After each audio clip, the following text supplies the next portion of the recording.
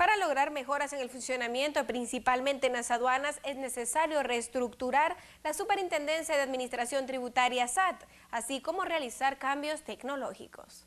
Directivos de AmCham dicen que es necesario reestructurar la SAT antes que concluya el año con el fin de mejorar su funcionamiento, principalmente dentro de las aduanas de mantenerse el mismo sistema administrativo dentro del ente tributario y no aplicar cambios tecnológicos, el gobierno del presidente electo Jimmy Morales podría registrar complicaciones en materia de recaudación.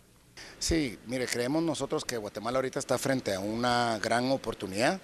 frente a desafíos importantes. Estamos viendo que el proceso democrático que se dio en Guatemala pues es histórico, es ejemplo a nivel mundial y creemos que este es el momento y ahorita se han dado las condiciones necesarias pues para que haya ese diálogo nacional y que verdaderamente logremos